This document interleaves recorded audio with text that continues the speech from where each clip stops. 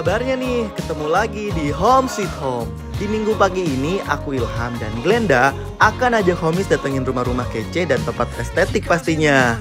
Dan gak ketinggalan juga nih, akan ada tips menarik seputar rumah. Dan bakal ada giveaway loh untuk hari ini. Untuk tahu lebih lanjut, cek Instagram kita di at homesweethome underscore transtv.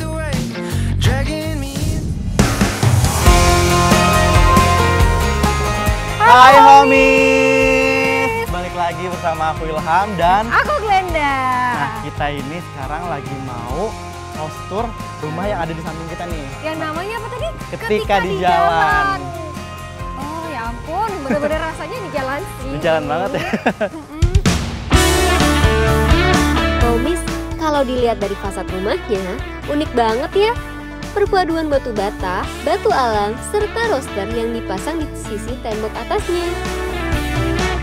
Dan juga perhatiin deh homies susunan batunya ya.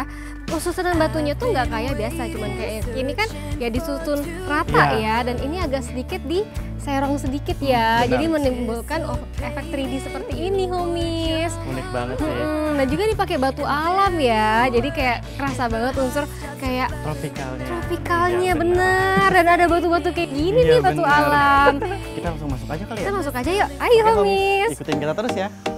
Take your things cause it's over. Wah, homies, pintu masuk yang digunakan dibuat seakan besar ya dengan kisi-kisi pintu yang selebar ini.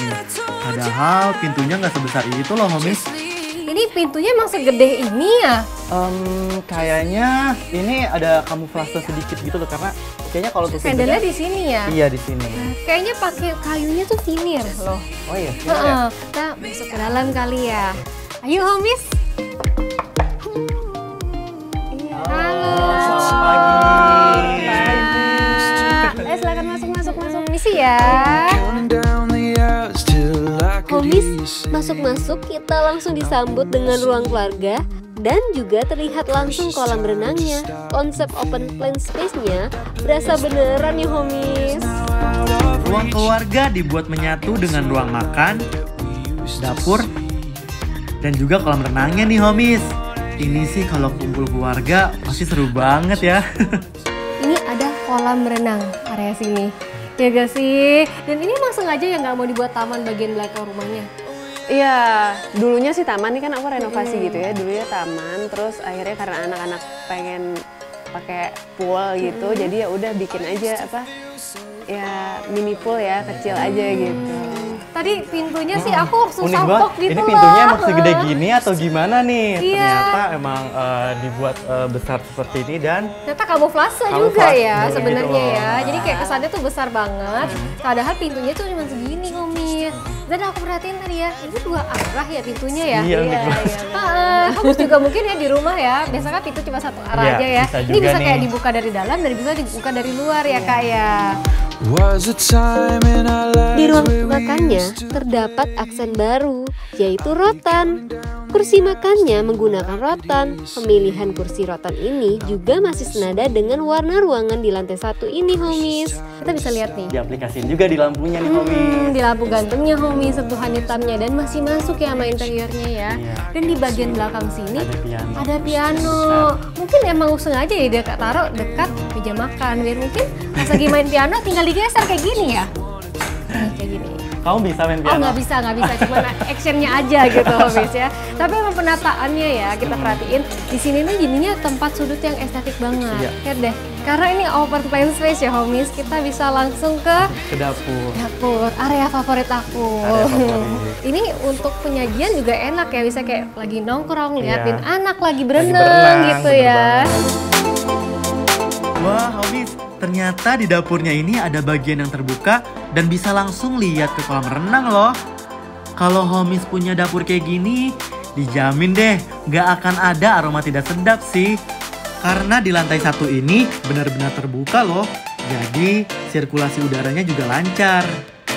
udah Kenapa? keliling-keliling nih berarti ya lantai satunya tapi kita belum masuk ke kamarnya loh. Iya, coba kita lihat ke kamar yuk. kita masuk kamar ya homies ayo I've been craving this for far too long. Tadi nanya di sini, Glenn dari tadi. iya cariin tadi ke mana? Tutup aja Wah, ini dia nih kamarnya homies. Hmm, sih walaupun simple ya kita lihat ya pemilihannya warnanya ini kayak lemarinya warna putih. Dan emang sengaja ya warna tone-nya emang dipilih di sini lebih banyak warna unsur putihnya ya kayak Kak kita boleh pamit ya. Lihat-lihat boleh ke atas. Eh, kita lihat ya Muter-muter aja ya. oke deh izin dulu ya kak ya makasih ya misi Oke homies, kita langsung aja ke atas yuk. Want. Wow, Miss, tangga menuju lantai duanya dibuat langsung di samping kolam renang. Cantik banget ya, Humis.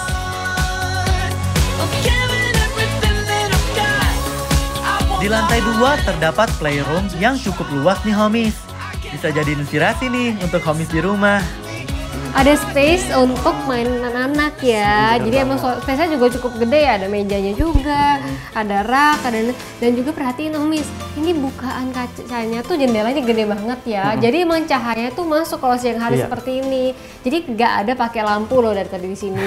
Karena emang dari tadi kayak jendelanya gede-gede banget ya dari dari sudut sini dan sudut sini. Jadi kayak memanfaatkan cahaya banget, matahari ya. Glenn ya? Mm-mm. Aku jadi penasaran gak sih sama kamar anaknya? Oh iya, kita belum ke mana anaknya. Kita belum ke kamar, kamar anak. Mari, Ayo Homies. Homies, kita lihat kamar anak. Pas masuk ke kamar anak, rasanya nyaman banget dengan penataan tempat tidur yang ditaruh di bawah, adanya cermin besar serta meja untuk baca atau belajar homis. Auto bikin gak keluar kamar nih.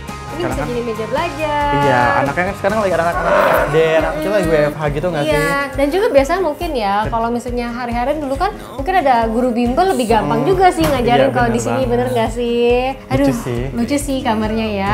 Dan kita udah keliling-keliling nih dari depan kamar anak dan juga tadi aku perhatiin ya ada yang cute banget dari luar. Oh iya homies, tadi aku ngeliat di depan ada balkon yang gede banget. Mm-mm. Penasaran gak kayak apa?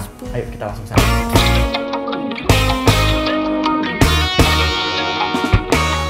Kaca di balkonnya dibuat sama seperti pintu di lantai satu loh homies. Ada repetisi kisi-kisi kayunya lagi di sini. Cantik banget ya homies.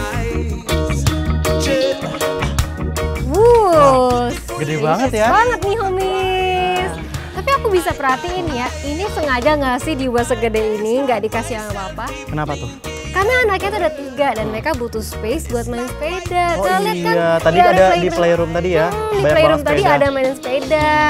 Dan juga ini space-nya cocok banget nih kalau misalnya Iya. untuk main-main di sore hari, pagi hari, karena space-nya gede dan juga untuk olahraga pagi ini cocok. Gimana homis? Rumah ketika di jalan sangat menginspirasi sekali bukan?